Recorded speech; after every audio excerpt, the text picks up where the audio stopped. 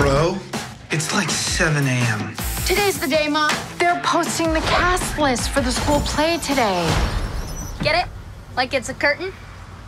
Tough crowd. I've got some breaking news. It's an open audition. They're making Lilo and Stitch a Broadway musical? Where would we even sleep? What about your aunt, the Broadway actress? You were the only toddler whose first word was me. Let's cast a musical.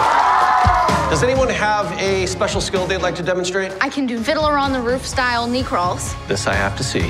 Mazel tov! oh my gosh, my pants. Does anybody have any extra shorts? I'll make you proud of me. Okay, Nate. That's all we're gonna need. Forget New York. I'm just trying to survive seventh grade. Working hard. I love that you're still acting.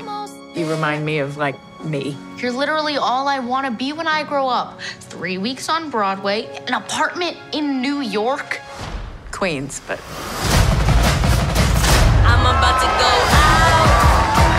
out. you're a hundred times funnier and quicker than I am. About to go out. Doesn't like the kid that went viral on TikTok?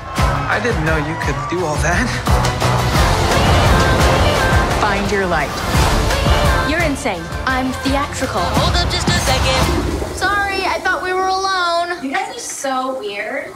We know. I'm about to go out. Just getting started, we about to go.